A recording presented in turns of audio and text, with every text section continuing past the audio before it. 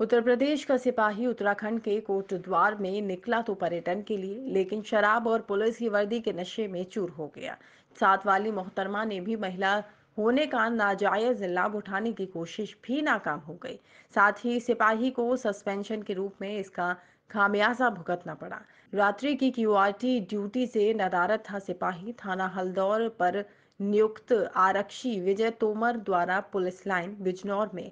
रात्रि QRT duty पर समय से उपस्थित न होकर बिना अनुमति अवकाश के अनाधिकृत रूप से अनुपस्थित होकर गैर प्राप्त जाने तथा वहाँ पर स्थानीय पुलिस के साथ हुए वाद विवाद का वीडियो सोशल मीडिया पर वायरल होने के कृत्य से आम जनता में पुलिस की छवि धूमिल होने के फलस्वरूप क्षेत्राधिकारी नगर द्वारा उक्त आरक्षी की अनुशासनहीनता के संबंध में प्रेषित रिपोर्ट के आधार पर पुलिस अधीक्षक जनपद बिजनौर द्वारा आरक्षी विजय तोमर उपरोक्त को तत्काल प्रभाव से निलंबित किया गया है।